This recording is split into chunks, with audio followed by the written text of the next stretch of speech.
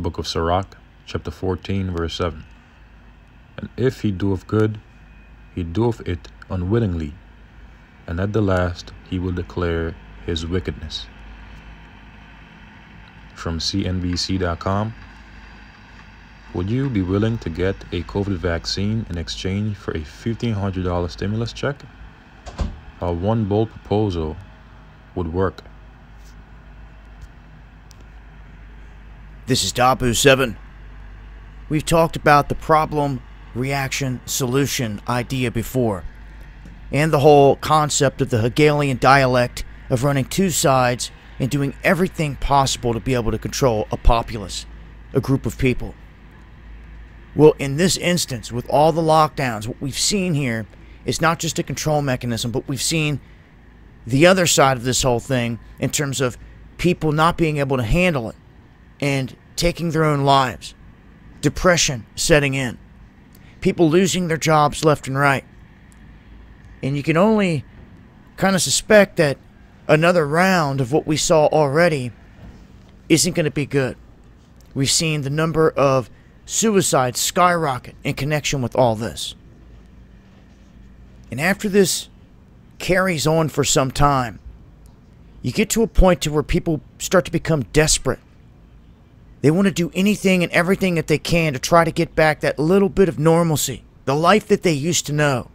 And in doing so, they fall for the trap.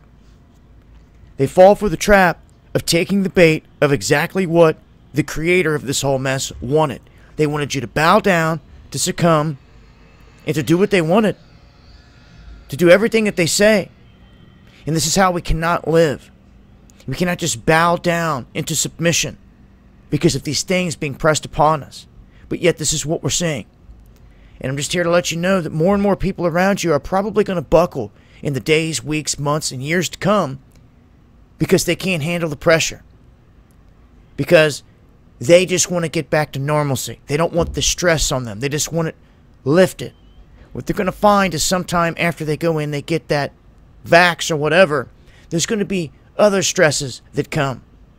I hope people are thinking these things out thoroughly before just jumping to conclusions or going running toward a savior, so to speak, in this crisis. One that would not be real, it would all be by design. So that is exactly what a new wave of lockdowns are doing. They're bringing people down into this, this depression, and it's opening the door for the ones that created all this to offer a solution. You see, create the problem, offer the solution. So, don't fall for the mess out here is the main thing. It would be nice if this lockdown actually got lifted before the end of the year, but it looks like that's not going to happen. In LA County, they've locked down some 10 million people alone, just there, in that little experiment, to see how they're going to mentally handle all this. So stay strong, keep your head up, and know that we are in a battle out here. I'm going to break that down further on the next live stream. Make sure to, to follow me over here on DLive, going live Monday, Wednesday, and Friday at 9 p.m. Eastern. You'll find links below in the description box. Much love, y'all. Keep fighting the good fight.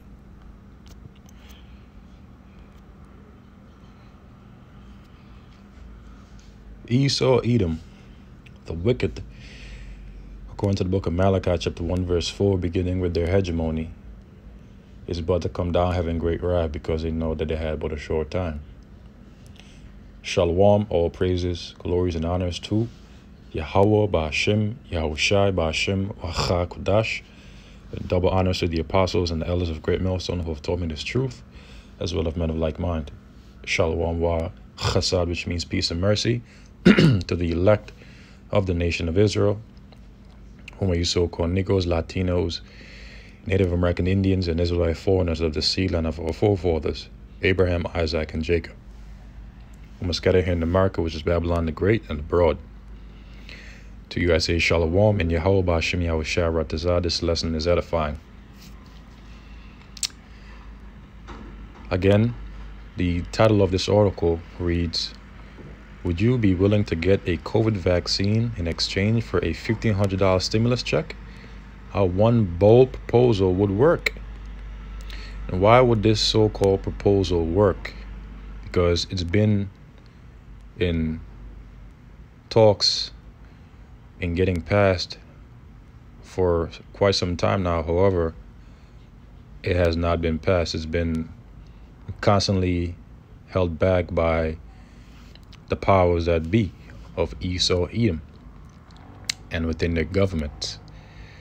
Because obviously they're going to use this as leverage against those that will refuse to take their Maxine, their Crown Royal Maxine.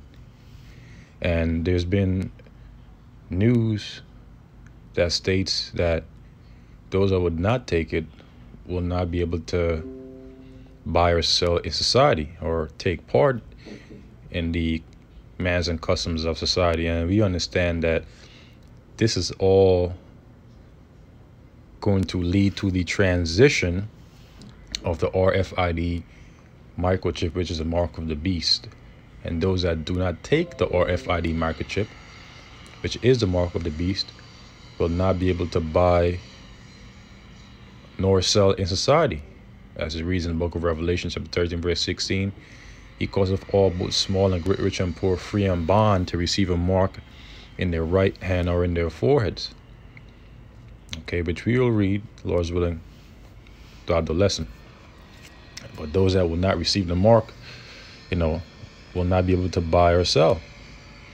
And Esau, Edom is just simply using this whole COVID 19 as a scapegoat and his vaccine, his Maxine, cold word, his Maxine,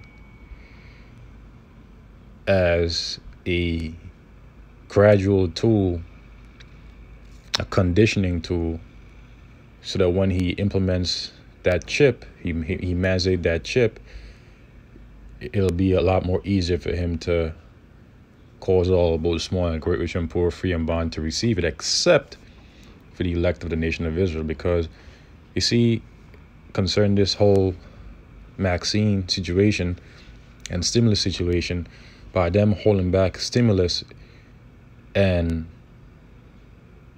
causing people to go even further into financial debt, that's going to cause them to despair even more to the point where they might start doing things that they had never done. They might start, you know, stealing, murdering for goods, and all these things are in the scriptures, man. It's prophecy. Okay, and these devils are gonna cause people to go in a state of panic and despair and great distress by holding this stimulus bill and other things as well as leverage. Okay, especially against those that would not take their vaccine and ultimately as time goes on their chip, which is a mark of the beast, the RFID microchip. Okay. And we see we see that we see that coming down the line and we see what's going on. We see what these devils are doing. Okay. Key points. Americans are eager for more one-time stimulus checks. You see? Keyword there is eager. So people are waiting eagerly for this next stimulus check. But these devils have been holding it back. Why? Because clearly they've been using it as leverage. Leverage. Okay. While the U.S. government is working to get COVID-19 vaccinations to the American public, so they're gonna say, you know what? If you don't want to take this vaccine, then you won't you won't receive a check. You won't be you, you won't be able to take part in society. Okay. And it'll get a lot more severe once they mandate that chip because everything is leading up to the mark of the beast, which is the RFID microchip, which is their real goal because that's their New World agenda. Okay, COVID is just pretty much a, a, a cover-up psyop, you know, that they're using uh, towards getting to that stage. Okay, vaccination to the American public. Now, one proposal from former Congressman John Delaney aims to help both sides by providing stimulus checks in exchange for getting vaccinated. You see? There you go. There you go. The goal to reach a 75% vaccination rate faster. So they're going to say, oh, okay, so the faster you take this uh, vaccine, is the faster you will receive this uh, this check, and society is going to go so-called go back to normal, which we know it, it won't because they have to mandate the chip. Okay, and that's when the real test is is is, is going to come. We are and this this is like a prelude that's that's leading up to that. Okay, because that's a major prophecy, the mandating of the RFID microchip, which is a mark of the beast. Okay, which could save both so-called save both lives and the U.S. economy. And to you Israelites out there, do not take the, the vaccine, man. Do not take the vaccine nor the RFID microchip, which is the mark of the beast. In Europe, it is known as the NFC chip implant. It is also known as the biochip implant. Okay.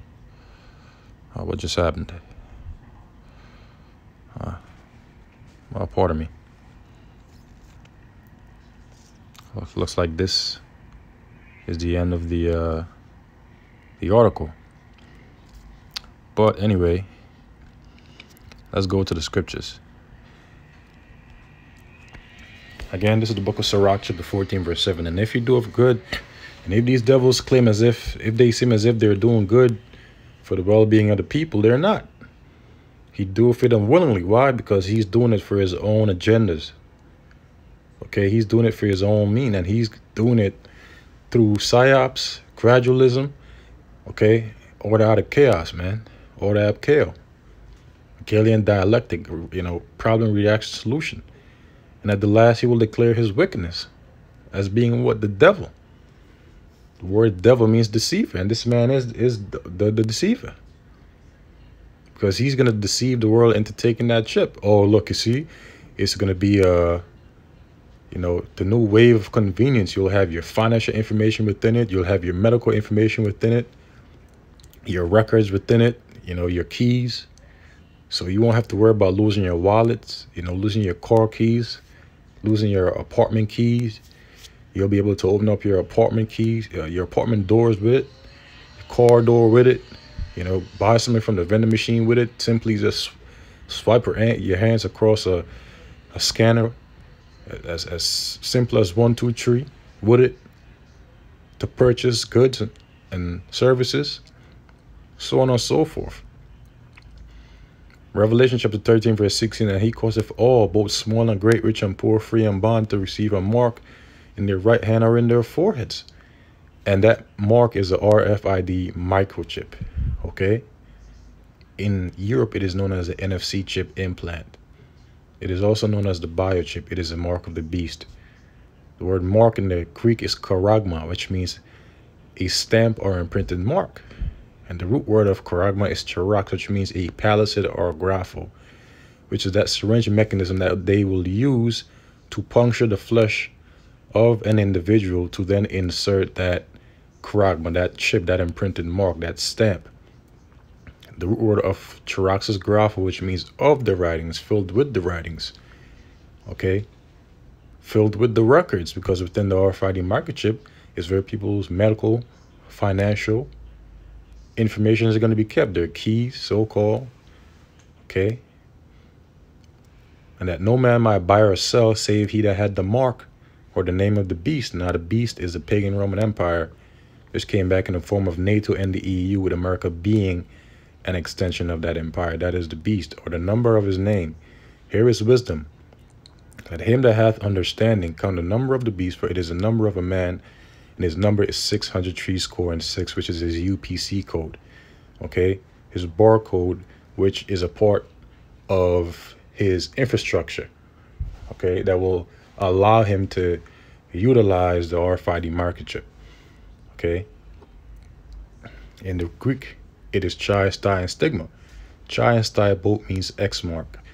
And there's a saying in the world, X marks the spot. I always make this example. Now, in certain medical movies, before a nurse or a doctor would puncture the flesh of an individual, they would mark a little circle, dot in the middle, or an X, which would be considered the spot or area of puncture. And it all goes into the chip. Okay, just using that as an example. But it all goes into the chip, which is a mark of the beast. Stigma means stamp, and according to the online etymology dictionary, figuratively, it means a mark of disgrace. So by taking that chip, you're pretty much saying that Esau is your your god. He, he's he's he's your uh, overseer, you know, and that would be a, a, a slap in the face to the Most High and his son. And there's a penalty for taking that chip, and the penalty is death, destruction. Okay, and here it is, Revelation chapter 14, verse 9. And the third angel followed him, followed them, excuse me, saying with a loud voice, if any man worship the beast in this image, the image of the beast is the system of the beast, which is comprised of his financial infrastructure, his medical infrastructure, his architectural infrastructure, his philosophies, his laws, his democracies. All these things comprise the image of the beast, which is the system of the beast, and receive his mark in his forehead or in his hand. The same shall drink of the wine of the wrath of Yahweh by Shem which is poured out without mixture into the cup of his indignation, and so the wrath of Yahweh through Son Yahushua is being likened unto wine, which, which will be poured out into a cup, which is being likened unto the Lord's indignation, which means righteous anger, in which those that receive the mark in their forehead or in their hand and worship the beast in his image will drink all the way down to the very dregs and spew and be mad and be destroyed according to the scriptures. Okay? Because it's all a metaphor for the wrath of Yahweh Shem Yahushai. Now let's get a scripture to prove that. This is the book of Psalms, chapter 70. Was it 72? Or is it 70? Might be 72. Slovakia. Escape me.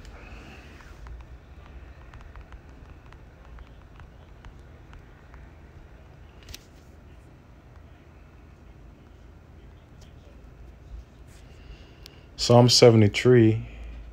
Actually, no, Salakia.